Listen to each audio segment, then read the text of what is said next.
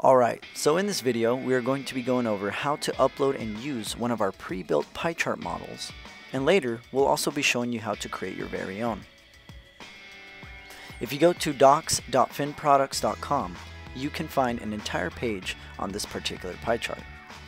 We have instructions on how to build it from scratch, and we even offer a completed pre-built model of the chart that you can simply download and upload to your server. To download the model, click on the download link.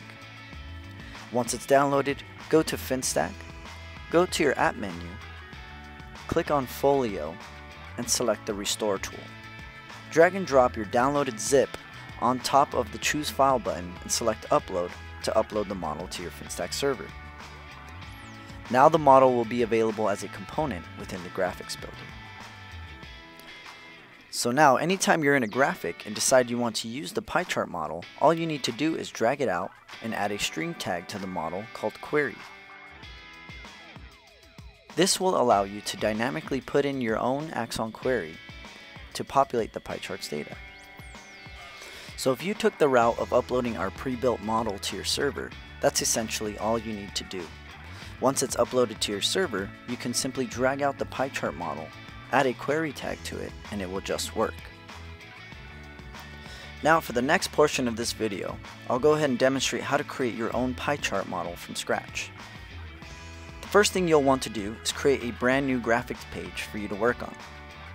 Next, you'll need to go into your components panel and drag out an AM chart. We'll need to create a group for this to work, so go ahead and just bring out any extra component uh, so that we can create the group. In this case, I'll use a label. Select both of the components, right click on them and create a group. Once you have your group, you can go into the layers panel, open the group and delete the extra component so that you only have the AM chart within the group. The next thing we'll want to do is add a unique tag to your group. So make sure you have the group itself selected, then go ahead and add in a unique tag. The tag is completely arbitrary, but will be will, but will need to be something unique since we'll be running the program on it. In this case, my unique tag will be my chart. Okay, before we go any further, let's go ahead and maximize the size of the AM chart and make it fully scalable. To do this, simply select your group and change the width and height to run off percentage instead of pixels, and then set the percentages to be 100%. This will max out the group itself. You will need to do this on both the group and the AM chart component. Once you're done, select the group itself and set the X and Y coordinates to be 0 and 0 so that they fit nicely within the workspace. Okay, so now that we have the chart position and size set up, we can start by creating our program. As you may recall from an earlier step, we had added a unique tag to the group, which is what the program is going to be running on. In my case, the unique tag was called mychart, so I will set that as my program target filter. Feel free to name your program anything you'd like. Next, we're going to want to create our variables. In FinStack, there has been logic added so that if a component has a query tag on it, the program will automatically recognize that as the virtual point ref. So in this case, we will want to create a point variable that grabs its ID from the virtual point ref. To keep this variable dynamic, we can use a dollar sign in front of the virtual point ref so that it's not hard-coded. Okay, so next we'll want to write our program. If you are experienced with coding, you may fill this in however which way you'd like but if you are not, feel free to copy the code listed in the docs page and use that as your starting point. The first section of this program is taking the values of the query and making it usable within the program. The next section allows for relative bubbles to work when we click on any slice of the pie chart. And the third and final section is what actually draws and defines the pie chart itself. The data comes from the AM chart demos and can be altered to a certain extent if you know what you're doing. So as you see here, when we go to the AM Charts website and open up the pie chart source code, we see that it's the same exact thing that we had in our program. Um, except of course the data provider uh, in our case is grabbing data from the, uh, the query point. Okay.